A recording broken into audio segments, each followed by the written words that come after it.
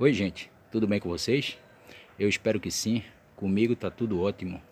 Se você é novo por aqui, se inscreve, tá bom? Tá tendo sempre matéria de como plantar alguma coisa. Hoje a gente vamos falar mais uma vez sobre o pepino. Se você não assistiu o vídeo anterior, volta lá e assiste, que a gente tá fazendo duas matérias sobre pepinos, falando um pouco antes de ensinar você a ter o mesmo resultado, tá bom? Então vamos dar andamento ao vídeo. Eu estava fazendo uma medição desse pepino aqui, porque a variedade dele é pepino híbrido japonês, e aqui está dizendo que ele pode chegar de 22 até 25 né, centímetros. E aqui eu medi esse aqui, como a gente vai tirar a prova aqui ao vivo, esse aqui está medindo 32, 32 centímetros. Então ele está bem fora do comum, né? Esse aqui é a outra variedade, o caipira. Diz que ele chega aqui de 8 centímetros até 16 centímetros. Mas esse aqui já tem 18 centímetros. E eu já colhi até com mais de 20 centímetros. A adubação orgânica é responsável por isso, porque a química ele faz o fruto sair muito rápido e não deixa o fruto amadurecer bem. Então, por isso que o químico além de ser uma coisa muito rápida, a planta absorver tudo de uma vez, ele causa isso, né? A planta não chega a, a, a um tamanho ideal que você esteja procurando. Falando mais sobre essa cultura, tem as vantagens e as desvantagens, né? Sobre esse aqui, o japonês, que ele é híbrido, não presta para você deixar um fruto amadurecer e replantar. Por quê? Porque uma semente híbrida ela foi feita no conjunto de duas plantas. Eles pegaram uma planta que crescia muito os frutos, mas produzia pouco, e polinizaram junto de outra planta que produzia muito, mas os frutos eram pequenos. Então eles polinizaram as duas juntos, tiraram essa semente até chegar nesse padrão.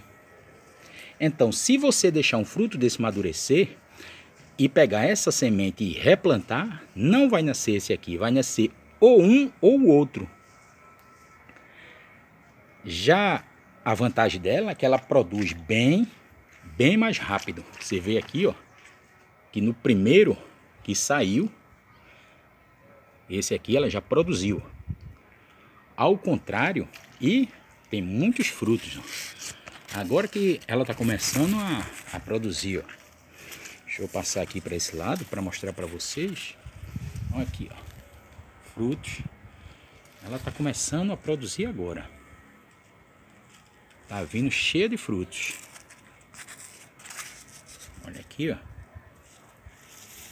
Mais aqui, ó. Agora que ela começou a produzir. Mais aqui, ó. Essa é a vantagem dela, que ela começa a produzir rápido. E a desvantagem é que você não pode guardar a semente, como eu estava explicando para você. Você tem, sempre vai ter que comprar. E é difícil de encontrar. Eu encontrei, mas é um pouco difícil de você encontrar essa semente. E aí você não pode replantar ela, né? Deixar amadurecer, como eu estava explicando, e replantar. Já a vantagem desse aqui, o caipira, como todo mundo conhece, você pode comprar o pacotinho e plantar e deixar um amadurecer e guardar as sementes e plantar normalmente que ele vai nascer. Ele vai dar esse pepino aqui. A vantagem dele é essa. Mas para quem quer fazer uma plantação caseira, nenhum problema. Ele também não produz tão rápido como diz na embalagem não.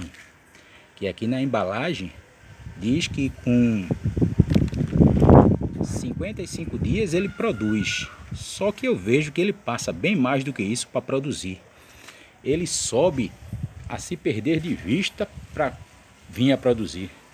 Quando ele começa, realmente a produção é boa, mas ele demora muito. Já esse aqui, ele já responde na primeira. De primeira ele já responde. A outra variedade, o Aldai, também é muito bom. Ele responde muito rápido.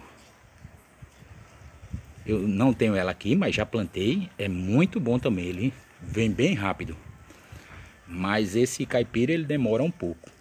Eu queria mostrar para vocês o tamanho, realmente está fora do comum. É muito grande o fruto. E o próximo vídeo a gente vai ver se consegue, porque está chovendo muito aqui. Eu estou até gravando esse vídeo rápido, que o tempo já está mudando. Mas eu vou tentar, no próximo vídeo, ensinar como plantar o pepino, tá bom? Para você ter esse resultado aqui. Plantar todo mundo ensina, eu vejo todo mundo plantar. Todo mundo ensinar a plantar. O resultado é que ninguém, às vezes, mostra, e quando mostra, ensina tudo errado. Eu planto há nove anos. Quando eu comecei a plantar, ficava olhando os vídeos, o pessoal ensinando tudo errado e eu fazendo do jeito deles e nunca colhia um pepino sequer. O que é que acontece? Eu já estava desistindo. Quando eu plantei pela última vez e disse, agora eu vou deixar do meu jeito. Pronto, foi, era só o que faltava. Aí foi quando eu consegui colher pepino. Porque do jeito que eles mandam, é difícil. Eu não sei que é que esse pessoal faz isso, mas é, é complicado, é assim mesmo. Tá bom, gente? Então, vamos ver se no próximo vídeo a gente faz um vídeo ensinando como plantar o pepino, tá bom? E ter esse sucesso aqui, ó. Fruto enorme, realmente bem grande a se perder de vista. Se você não for inscrito no canal, se inscreve, tá bom? Manda para aquela sua amiga que gosta de plantar, manda para o seu amigo, tá bom? Compartilha nas suas redes sociais Fiquem todos com Deus e até o próximo vídeo.